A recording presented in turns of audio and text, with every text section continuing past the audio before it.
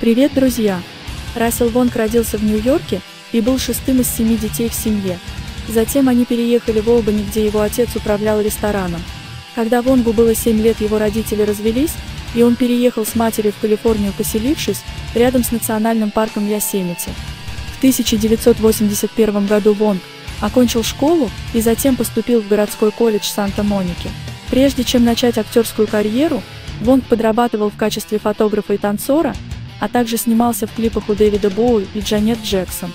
В 1985 году он дебютировал в кино, снявшись в гонконгском мюзикле Джи Юшен Пин, а в 1986 году появился в киноадаптации романа Тайпен. В 1989 году снялся в эпизоде телесериала Jump Street 21. Также он сыграл в романтической комедии «Чашка чая». Вонг получил прорывную роль в 1994 году Ему была отведена главная и ведущая роль. Это был короткометражный телесериал «Исчезающий сын», в котором он сыграл китайского политического активиста, сосланного в Америку. Шоу было достаточно популярным, чтобы породить три продолжения, а позже было превращено в синдицированный телесериал. Также журнал People в 1995 году назвал Вонга одним из 50 красивых людей среди актеров. В 2000 году снялся вместе с Джетом Ли и получил статус кинозвезды.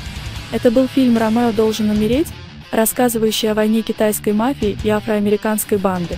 Вонг также сыграл лейтенанта Тонга в фильме «Крученый». В 2003 году он был выбран на главную роль в телесериале «Черный пояс», где он сыграл бывшего полицейского по наркотикам по имени Том, который открывает школу боевых искусств в Сан-Франциско. Также Вонг играл роли Даниэля в фильме «В пророчество 2» и Рика Цзуна в фильме «Охотник».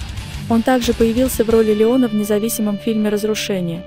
В 2014 году Вонг закончил съемки сериала ужасов под названием «Грейс». Фильм был снят в Сингапуре.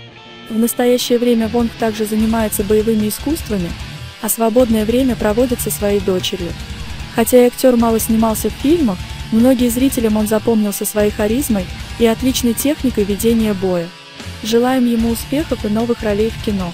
Ставим лайк и подписываемся на канал, чтобы не пропустить следующие видео.